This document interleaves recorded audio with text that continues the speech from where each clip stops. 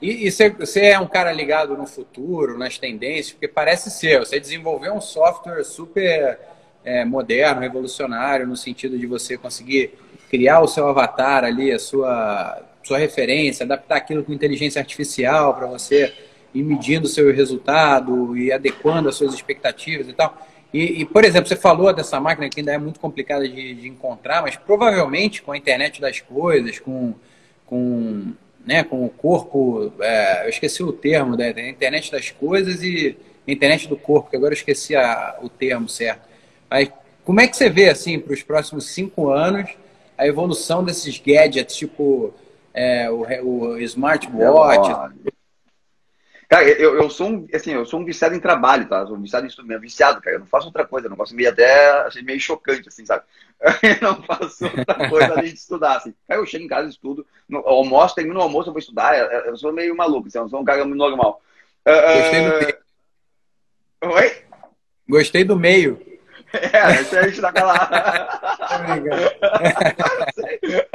Não, mas, cara, eu sou um cara muito diferente, assim, sabe? Eu sou meio, meio maluco mesmo. Uh, mas tudo bem, né? Cada um com suas maluquices. Uh, daí, assim, cara, eu, eu acho, sinceramente, cara, que cada vez mais essa tecnologia vai estar presente. Tá? Essa tecnologia, para nos ajudar, assim, ela vai estar realmente muito presente. Isso que eu uso, que é, que é esse equipamento de eletromiografia, eu, eu, sinceramente não conheço nenhuma outra pessoa que use no, no, no, dia a dia prático, assim, porque é um equipamento, como eu falei, de pesquisa e tal. Mas eu não, eu não duvido que daqui a cinco anos cada academia tem a sua, com seu especialista em biomecânica lá dentro, medindo cliente por cliente para saber qual é o melhor. Porque assim, ó, esse negócio, aproveitando essa tua pergunta, esse negócio de pesquisa, tá? Hoje, por exemplo, tem um exercício, que é aquele, um dos que a gente testou, é aquele agachamento búlgaro, tá? Ah. Aquele agachamento búlgaro é um, é um dos queridinhos para glúteo, segundo as pesquisas.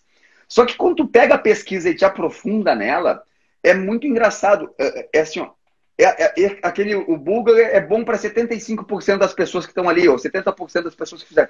Só que para os outros 20 ou 30, às vezes o búlgaro é medíocre de atividade. Então, assim, cara, porque os estudos são médios. A gente pegou 50 pessoas, para 50 pessoas, 40, o búlgaro foi top. Mas para os outros 10, foi medíocre. Só que ele me avaliou três, quatro exercícios.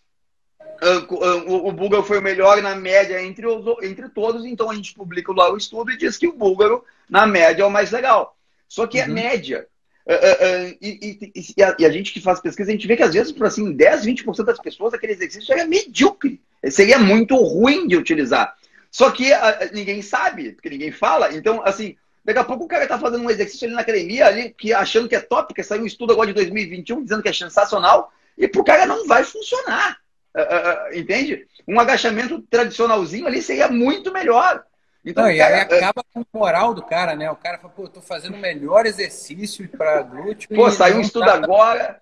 E, e aí. Tá, então, então, assim, eu acho, respondendo a tua pergunta de forma mais objetiva, assim, cara, eu acho que cada vez a coisa vai ficar mais personalizada. A medicina tá ficando muito personalizada, cada vez os exames de sangue são litros que tu tira.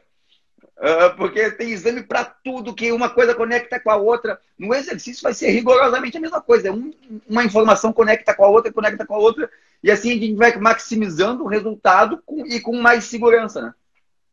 Total. É, isso foi-se o tempo da, da, da, gente trabalhar com médias, né, para tratamento de saúde, para tudo, para construção da saúde, para tratamento de doença, para tudo. Agora já, a gente já tem muito mais ferramenta para poder medir e individualizar cada treinamento e tal. Claro que são, são tecnologias, infelizmente, caras, mas com o tempo elas ficam mais acessíveis, né, normalmente. Uh, uh, uh mas ah, elas realmente vão evoluindo, como qualquer tecnologia. Quando ela entra no mercado inicialmente, ela sai, sai, entra muito cara, né? Depois ela vai popularizando, vai baixando o preço. Mas, assim, eu não duvido, assim, daqui a 5, 10 anos, que vai ter, por exemplo, um, um eletromiógrafo desse em cada academia, aquela avaliação que a gente desenvolveu. Ah, porque aquela avaliação, o que é o legal, né? Porque ele diz exatamente, mas é, é com precisão cirúrgica ali, tu viu ali, né? Quanto que tu tem que perder de peso para ter aquele abdômen definido como tu queria ter, ou aquele glúteo, ou aquela coxa definida como tu queria ter. Então, esse tipo de personalização, ela vai cada vez acontecer mais, assim, né? Eu, eu, assim, eu acho que vai ser um negócio... Esses relógios, eu acho que vão evoluir demais, eu acho que vai ter muita coisa bacana. E até o próprio Colégio Americano de Medicina do Esporte, que quem é, um, é o principal órgão de esporte que tem no mundo, de exercício, ele, ele, todo ano, no começo do ano, ele publica as, as 10 tendências para o ano, pro ano que está entrando, entendeu? Hum. Uh, uh, e a tecnologia das coisas, ela está sempre entre as três primeiras. Ah, é, porque vai monitorar tudo. Por exemplo, o, o nosso amigo em comum, né, o Dr. Vitor Sorrentino, ele fala muito do aparelho que ele tem que mede a glicose ao longo do dia todo, a glicemia do sangue, né?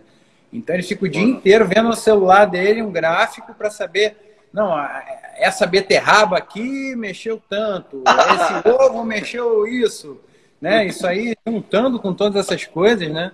A tendência também, os aparelhos eles vão barateando, vão diminuindo de tamanho, né? Por exemplo, esse, esse aparelho que você estava falando antes, ainda é um trambolhão, que tem que estar tá ligado no computador, grudado em você, você fica com um aparelho no bolso, fazendo exercício com o negócio no bolso.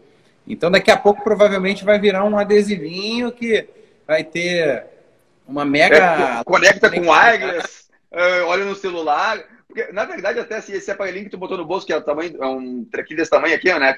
Uh, antigamente, ah, antigamente, sim, há cinco anos atrás, ele era tamanho do notebook. Tu é. pendurava numa sacola no carro. né? É, uma mochilinha. Tu, tu, pra fazer a demografia, pendurava uma mochilinha para fazer exercício. Já diminuiu agora, e daqui a pouco diminui mais ainda, né? Não, mas é impressionante também como muita coisa não muda nunca, né? Por exemplo, é, o, a gente está evoluindo muito a tecnologia, a gente tem acesso a todas as informações, as melhores informações, é a biblioteca né, de Alexandria na palma da sua mão e tal. Ao mesmo tempo, a postura da gente para ficar mexendo no celular vai ficando cada vez pior, né? Você esquece da, da, né, da, da a consciência corporal e para depois, para reverter o dano né, de uma postura é, ruim. Tem uns exercícios que são chatos, e ao mesmo tempo que eles são muito chatos, eles, enquanto você está fazendo exercício, você sabe que aquilo vai te ajudar a melhorar a sua pisada, a melhorar a sua postura, a fortalecer e tal. Isso não muda, né? Tem muita coisa que é tradicional, porque o ser humano é um bicho, sei lá, feito para ser um caçador-coletor, que estava o tempo todo migrando, né?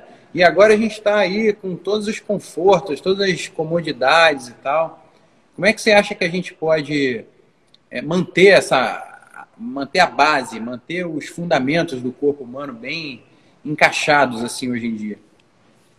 Uma coisa que é, que é básica, que tu falou até bem assim, é que é o movimento, cara. O corpo ele foi feito para se movimentar, tá? Um, um, corpo que para, ele vai se atrofiar. Inclusive aquela questão da erisina que eu te falei, tu só produz as, as miocinas, né? Uma delas é a erisina, uma das mais conhecidas, quando tu movimenta o músculo. Então, o, o corpo parado, ele atrofia tu atrofia o músculo, atrofia as articulações, tu atrofia o conjunto todo da obra, tá? Então, tu realmente, ele tem que ser feito em movimento.